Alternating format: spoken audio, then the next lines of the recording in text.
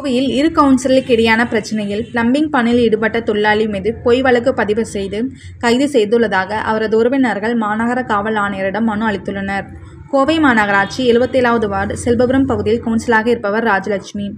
அவரது பகுதியில் நடைபெற்று வரும் உப்பு தண்ணீர் விநியோகம் தொடர்பான பிளம்பிங் பணிகளை செய்து வருபவர் அபிப் ரஹ்மான் இந்நிலையில் கடந்த இரு தினங்களுக்கு முன்பு அந்த பகுதியில் நோந்து சென்ற போலீசாரை பணி செய்ய விடாமல் தடுப்பதாக அபிப் ரஹ்மான் மீது வழக்கு பதிவு செய்து கைது செய்துள்ளனர். இந்நிலையில் அவரது உறவினர்கள் மற்றும் ஏழாவது வார்டு கவுன்சிலர் ராஜலட்சுமி ஆகியோர்கள் கோவை மாநகர காவல் ஆணையரிடம் புகார் மனு அளித்துள்ளனர்.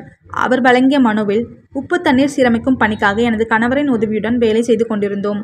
அந்த வழியாக வந்த டி டூ காவல் நிலைய காவலர் சலோமான் என்ன வேலை செய்கிறீர்கள்? இது யாருடைய வார்டு? என்று கேட்டு அங்கு வேலை செய்திருந்த அபிப் ரஹ்மான் என்பவரிடம் வாக்குவாதத்தில் ஈடுபட்டுள்ளார்.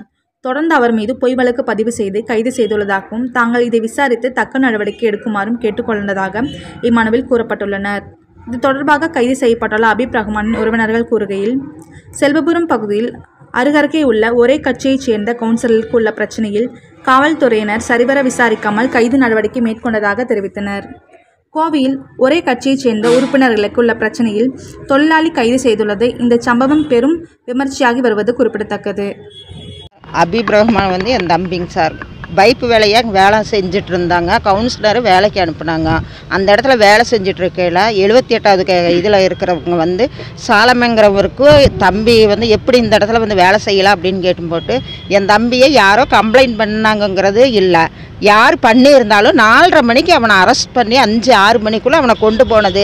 வீட்டுக்கும் தகவல் சொல்ல எட்டரை மணி வரைக்கும் எங்கள் வீட்டுக்கும் தகவல் சொல்ல. என் தம்பி அரெஸ்ட் பண்ணதுக்கும் அவனை பிரச்சனை பண்ணி போட்டு அவனை வேணும்னு கொண்டு போனது எழுபத்தி எட்டாவது கவுன்சிலரில் இருக்கிற மணிங்கிறவர் தான் பண்ணியிருக்காரு. சாலமங்கிறவர் வந்து எப்படி அவர் வந்து கூட்டிகிட்டு போகிறக்கு அவன் ஏதாவது பண்ணியிருந்தானா? அவன் வந்து த பேசிட்டு இருக்க இருக்க கை வச்சு அவனை இழுத்துட்டு போயிருக்காங்க. அவனை வந்து கொண்டு போனதுக்கு எங்களுக்கு என் தம்பி வேணும். அவன் ஹார்ட் பேஷண்ட்டு அவனுக்கு ஹார்ட்டில் வந்து போட்டு ஒரு ஹோல்ஸ் தான் ஆப்ரேஷன் பண்ணி இது பண்ணியிருக்க. ரெண்டு ஹோல்ஸ் அப்படியே இருக்குது அவனால் எந்த வேலையும் செய்ய முடியாதனால தான் எழுபத்தி ஏழில் கவுன்சிலருக்கு ஹெல்ப்பு அவன் இருந்திருக்கான் அந்த ஹெல்ப்புக்கு அவனோட குடும்ப பொழப்புக்காக அவங்க கொடுக்குற இது வச்சு தான் அவன் குடும்பம் நடந்துட்டு அந்த டைமில் இப்படி ஒரு வேலை பண்ணக்கு எங்கள் தம்பி எங்களுக்கு கண்டிப்பாக எங்களுக்கு வந்தே ஆகணும்.